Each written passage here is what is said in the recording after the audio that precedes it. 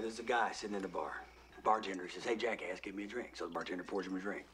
He drinks it. Sits there for a while. Says, hey, jackass, pour me another drink. So he pours another drink.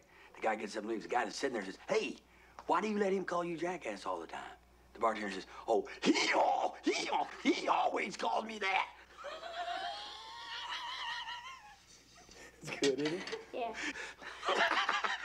You might as well fold because you don't stand a Chinaman's chance. Yeah. Uh, see ya. And I'll raise you this. You Can't bet managers. You can't bet managers. Okay, okay. We said time and time again, you can't bet managers. So I'll bet you a Yankee. Piss on the Yankees, piss on the Indians, piss on the Phillies, piss on the Braves, piss on. Come on, come on. Whoa, man. Let him finish the game. Okay? Make it quick. Okay. What did you say, Yankees? Mm-hmm. See your Yankee? And I'll call you. I got three kings, read them and weep. I got it straight to the queen. That's bullshit luck. Bullshit luck. That's enough. I'm feeling this. That's enough. Hey, look, can I say, can I at least say goodnight? Good night. Ugh. Oh. Good night. Good night. I'll see you later. Yeah. I'll see you in the morning. Okay. I'll see you in the morning. Okay. Wake me up. Okay. No, I'll wake you up. Okay. Okay.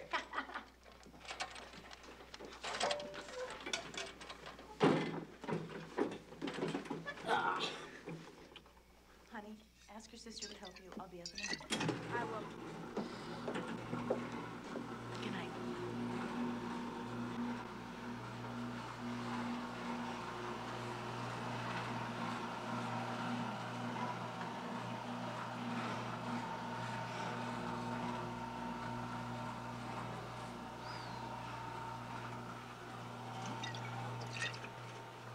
Ew.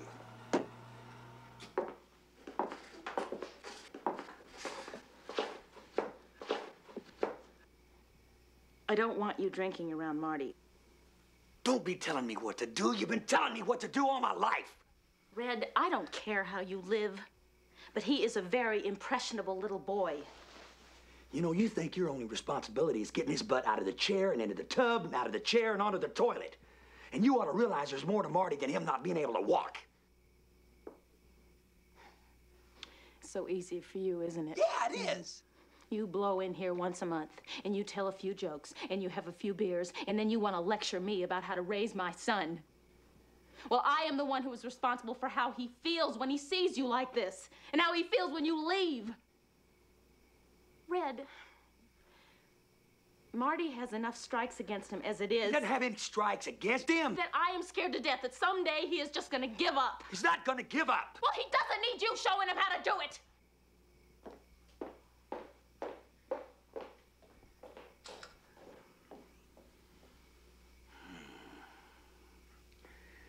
Another wonderful night here at Sister Nan's.